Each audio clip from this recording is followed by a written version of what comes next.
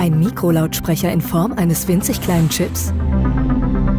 MEMS, mikroelektromechanische Systeme, sind bereits in zahlreichen Anwendungen als Mikrofone und Sensoren weit verbreitet. Doch bisher fehlte eine MEMS-basierte Lösung für die Schallerzeugung, die den Marktanforderungen genügt. Bis jetzt. Dem Fraunhofer Institut für Photonische Mikrosysteme IPMS ist ein revolutionärer Ansatz für MEMS-Lautsprecher gelungen.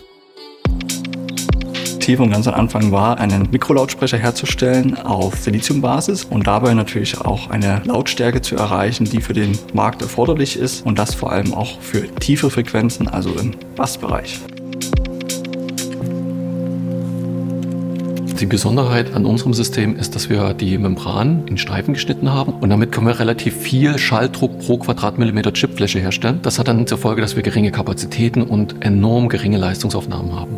Mit der neuen Technologie der Nano-E-Drive-Aktoren werden viele dünne Biegebalken, ähnlich den Seiten einer Harfe, gefaltet und in einen MEMS-Silizium-Chip integriert. Dadurch können Schallwellen mit einer ausreichend hohen Schallleistung erzeugt werden, ohne dass die Chipgröße wächst. Perfekt für im Gehörgang getragene, hochvernetzte Systeme, sogenannte Hearables, die weit über das reine Musikhören hinausgehen. Wir haben mehrere Microspeaker-Generationen. Jede dieser Generationen hat im Prinzip sehr viel Zeit gebraucht, um die zu entwickeln. Aber am Ende haben wir geschafft, die Vorgaben der Industrie mit unserer Generation 4 zu erfüllen.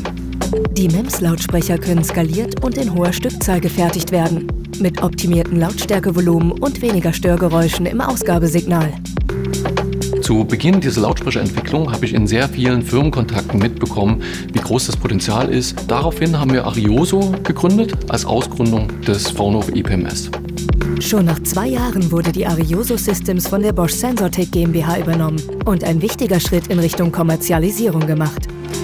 Wir wollen bei der Mikrolautsprecherentwicklung hin zu noch lauteren Lautsprechern, die gleichzeitig aber nicht in der Größe wachsen und auch nicht wieder mehr Energie brauchen und wollen natürlich gleichzeitig die Produktion skalieren. Mit ihrer MEMS-Technologie haben die Wissenschaftler eine technologische Lücke geschlossen.